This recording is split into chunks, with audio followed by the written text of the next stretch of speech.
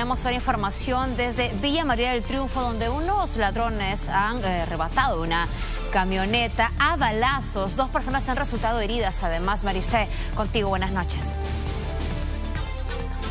Fátima, buenas noches. Así es, este hecho ocurrió cerca de las 9 de la mañana aquí en el distrito de Villa María del Triunfo, cuando eh, tres personas en realidad estaban en pleno trabajo. Venían eh, desde el mercado Unicachi trayendo una serie de insumos hacia un instituto em, de educación superior que se ubica exactamente en la zona de...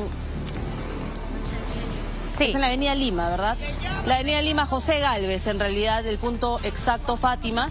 Y pues eh, de pronto aparecieron esos tres delincuentes Ahí estamos y fueron directamente a dispararles a las víctimas. Hablamos de padre, hijo y un tío de Ángela, que ya está con nosotros y nos va a comentar en este momento cuál es el estado de salud de sus familiares, porque finalmente fueron tres personas baleadas de tu familia. Ángela, ¿cómo están ellos?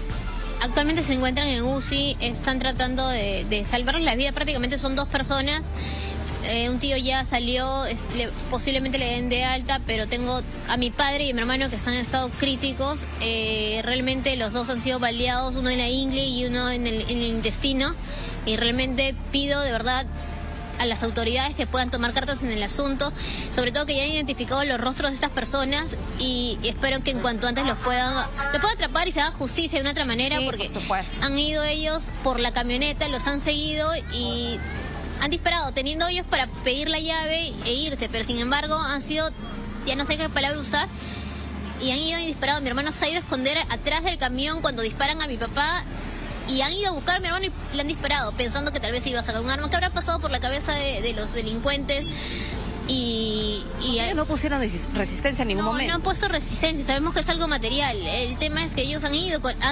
ustedes han visto en, los videos, ¿no? Ellos entran con, las pistolas y, y, al ver que el carro no está prendido y que no funciona con llave, sino con el botón, han ido a buscarle llave, pensando que tal vez la llave estaba ahí, pero con, mi papá estaba atrás descargando las, las cosas, ¿no? Las compras y ahí han ido a, dispararles sin, sin pensar, de frente en la barriga, a mi hermano en la ingle, a mi tío en el brazo y realmente todos nos hemos quedado de, verdad esperando que las autoridades que, que pase que hagan algo ahorita porque los delincuentes han, han apagado el GPS ni bien se lo han robado. O sea, han venido siguiendo la camioneta de mi papá desde el mercado lo que, más o menos lo que estamos viendo, ¿no? De dónde más o menos han venido ellos y o tal vez han estado siguiéndolo de mucho más antes porque hay muchas muchas hipótesis, ¿no? Hay vecinos que nos dicen que han pasado anteriormente un carro, han estado filmando el lugar, más o menos a la hora que ellos traen las compras, las compras les traen frescas siempre los lunes, entonces todo esto ha sido y está en manos de las autoridades que están investigando.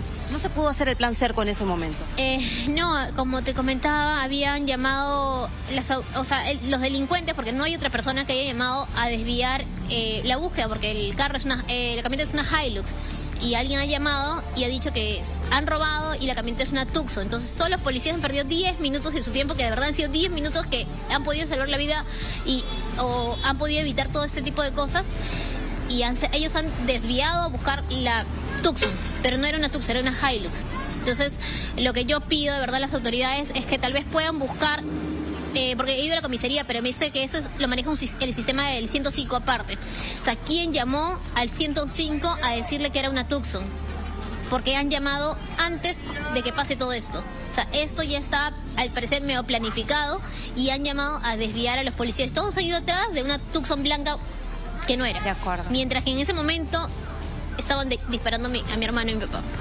Claro, y en ese momento se pudo haber eh, detenido incluso a estos eh, tres delincuentes, Fátima, que eh, se les puede identificar gracias a la serie de imágenes en las cámaras de seguridad que ha podido ya recolectar la familia y la policía, que se está haciendo ya cargo de este caso, todo a cargo de la de Pincri de la zona. Correcto, Maricé, y estamos seguros que vas a continuar haciéndole seguimiento a esta historia para poder tener eh, una conclusión donde recuperen la salud de sus seres queridos, pero también se pueda recuperar este bien eh, robado. Gracias, Maricé, gracias también a familiar de las víctimas. Y ahora nosotros...